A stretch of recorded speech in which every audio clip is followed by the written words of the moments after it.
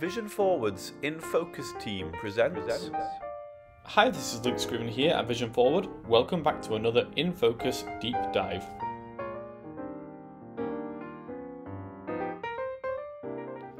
In today's deep dive, we're going to be taking a look at some vision accessibility options built into Apple Mac computers. In order to get to these options, first of all, we're going to go down to the taskbar at the bottom of the screen and we're going to find System Preferences. And this is a, uh, you can, the picture is a square with a circular cogwheel inside. Let's go ahead and click on that to open it.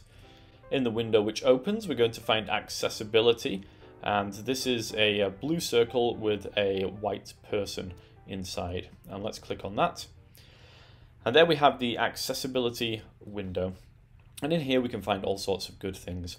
Over on the left, it has the different uh, kind of sections. And uh, the vision section starts off with voiceover. Now, VoiceOver is a screen reader which reads aloud what's on the computer, primarily designed for people who are blind rather than people who are low vision. If I go ahead and check the Enable VoiceOver box, we'll be able to hear uh, what that sounds like.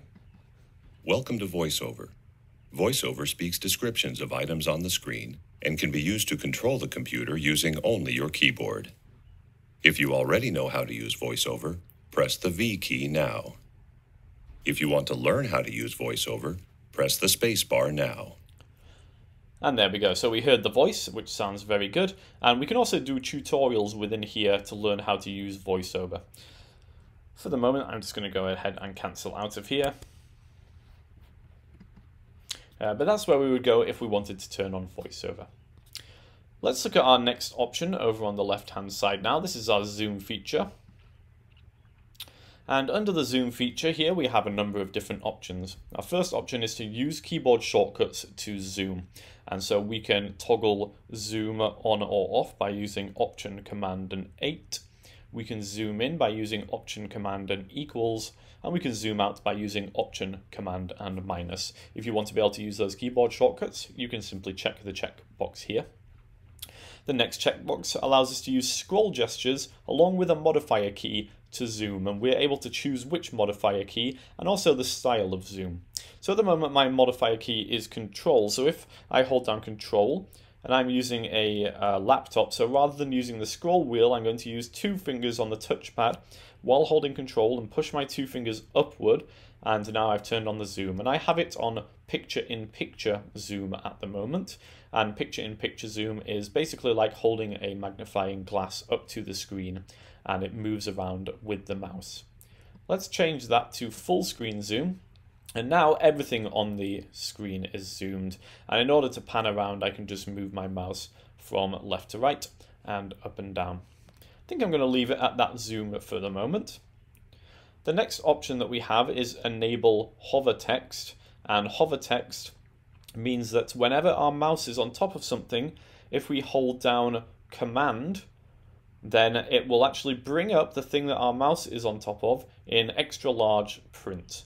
So anywhere that my mouse is, I will be able to see in extra large print just underneath the mouse pointer. This is a really cool feature. I like it a lot. I'm going to leave that enabled.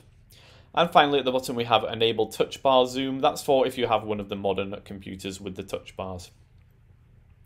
Let's go back over to the left now to display. And under here we have a number of different options. In the first tab is the display options. We have an invert colors. If we click on that, then all the colors will be inverted. Click it again, they'll go back to normal. That's really good for obviously uh, if you want to read uh, like a document and you're finding that all the white light is quite glary, you can invert the colors so that the document is black and the text is white and it might make it easier to see. We have reduce motion here and increase contrast, reduce transparency. Let's just take a look at in increased contrast here. It will actually put dark lines around things to make them more contrasty. And it automatically turns on reduced transparency, so things which uh, were transparent now become more solid color, again to increase the contrast. Let's leave that on, I quite like that. Uh, differentiate without color, I'm not exactly sure what that does. And then at the bottom we have a slider to increase or decrease the display contrast in general and we can really crank it up there. But uh, let's yeah, let's have it up a little bit. There we go. We're going to raise that a little bit. So now the the contrast uh, is extremely good right at the moment, and obviously that can increase our ability to see things.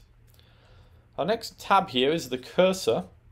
We can uh, enlarge the cursor or the mouse pointer and make it larger. So I'm going to make this larger and leave it like this now. And we can also check this checkbox to shake the pattern mouse pointer to locate. So if we move the mouse pointer quickly from side to side, it will temporarily grow in size to help us locate it. Um, and again, that's a really cool feature. So no reason not to leave that turned on. And our final tab is color filters. And in here, we're able to change various color filters. This is more for people um, with uh, color blindness. And so we'll leave that for the moment. Let's go back over to our options on the left here. Here we have speech. Now there are certain um, things, certain tools that we can use as low vision users, um, apart from narrator, which will allow us to have things read aloud to us. And uh, they can be very helpful. The first drop down box here we have is which voice we want to be spoken, we want the computer to speak with. And uh, by default we have Alex. Most people recognize me by my voice. So that's what he sounds like. Let's try another one. We'll try Fred here. I sure like being inside this fancy computer. So he's more like a Stephen Hawking's kind of voice, and then we'll choose a Victoria. Isn't it nice to have a computer that will talk to you? And finally, we'll try Samantha here. Hello, my name is Samantha. I am an American English voice. Well, let's just try Siri female as well. Why not?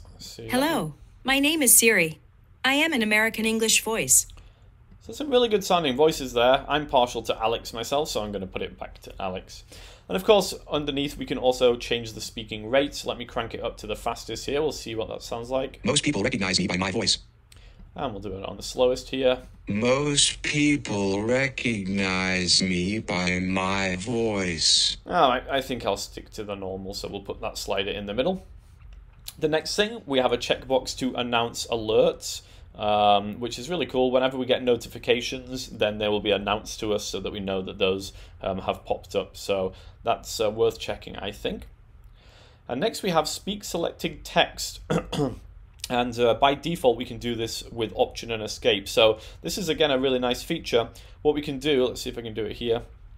No, I can't. But um, if we have a document, for example, uh, or an email or something like that, and there is some text in it, if we just highlight the text and then press Option and Escape, it will be read aloud to us. So you can imagine how useful that is. Um, you're trying to read a document, you can just have it read aloud. You want to read an email, you can just have it read aloud. You want to um, read part of a web page, you can just have it read aloud. All you have to do is highlight the text and then press Option and Escape together. Now you can actually change uh, that key command by uh, pressing on the Change Key button, so it doesn't have to be Option and Escape, that's just what the default is. And we also have a speak items under pointer, so wherever our mouse is, we can have the thing that it's currently on top of spoken aloud to us. Speak item group.